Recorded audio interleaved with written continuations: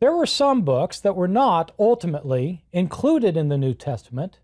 that at one time or another, by one group or another, were considered scripture, as we've seen, for example, in the case of the Ebionites with their form of the Gospel of, the, of Matthew, the Marcionites with their form of the Gospel of Luke, or with the Gnostics, who had a variety of texts the Gnostics didn't limit themselves to interpreting the texts such as the Gospel of John that came into the canon of the New Testament. The Gnostics had their own writings as, well, many of which they considered scripture. And we've discovered a number of these writings. Uh, the most important discovery was made in 1945 uh, in a, uh, in a village, near a village, Nag Hammadi, Egypt, which was the discovery uh, in, in which the Gospel of Thomas was found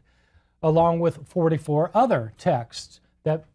some Gnostics apparently considered to be scriptural, including other Gospels. There was a Gospel of Philip discovered at Nag Hammadi, for example, a Gospel called the Gospel of Truth, uh, and a range of other texts that related, for example, the Gnostic myths, such as the Secret Book of John, or a book called The Origin of the Worlds. Some Gnostic groups considered these texts to be scripture or texts discovered earlier uh, in the 19th century that were considered by Gnostic groups to be scripture, including the Gospel of Mary, the only gospel that we have that claims to be written by a woman. There were a range of books considered by different groups to be Christian,